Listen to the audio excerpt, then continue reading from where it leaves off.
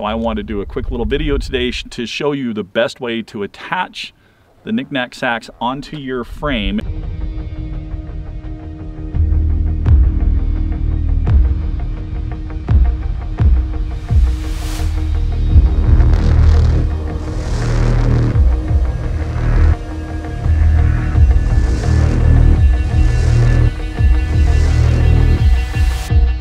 Hey everybody, Michael Batiste from the Elk Calling Academy, where we help you shorten that learning curve so that you find success faster in the elk woods.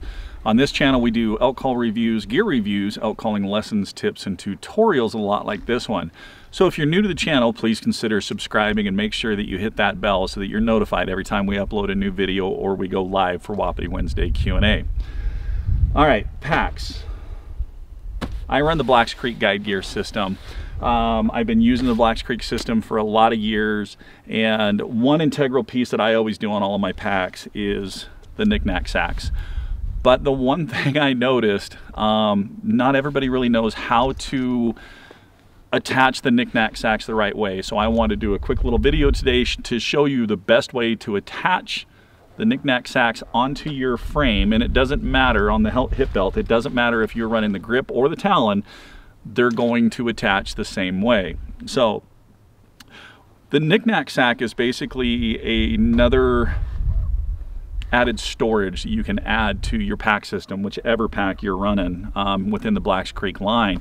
It does give a good amount of storage inside for small items, but also it gives you a couple of pockets on the outside. There's actually three of them on here for items that you may grab and need on a regular basis.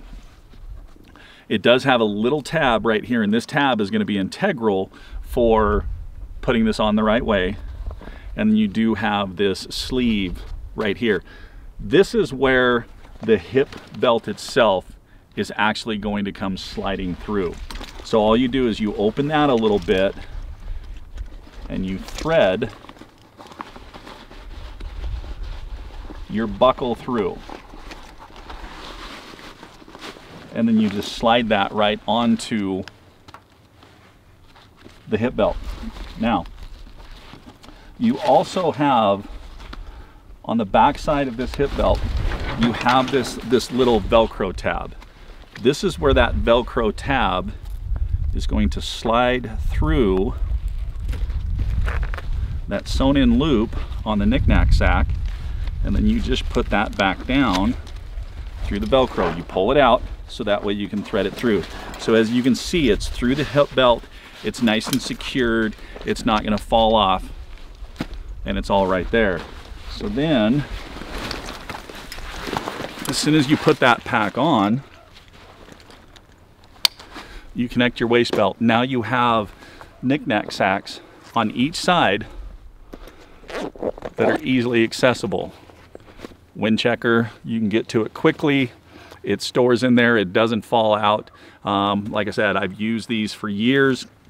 I've never had one fall out while out hunting. So there's a quick little tutorial for you on the proper way to attach your knickknack sacks onto your grip frame or your talon frame within the Blacks Creek Guide Gear system.